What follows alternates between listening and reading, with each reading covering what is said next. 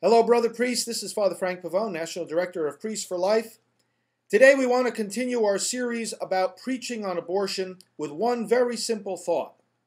We preach a message that those of us who reject abortion do not ever reject those who have had abortions. Rather, we welcome and embrace them with love so that they can come to the peace, mercy, and healing that Christ and the church offer. This is a key message to bring out right at the beginning of any homily or talk about abortion or the pro life movement. Because so many people, knowing that the church is against abortion, and even knowing how much of an evil it is, suppose that therefore we are there to condemn them, to judge them, or to reject them.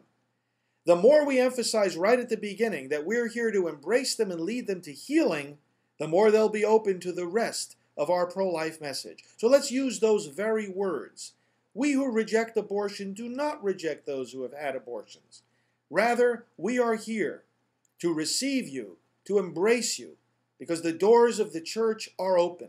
The gospel of life is a gospel of mercy. Let's proclaim that with more vigor than ever before.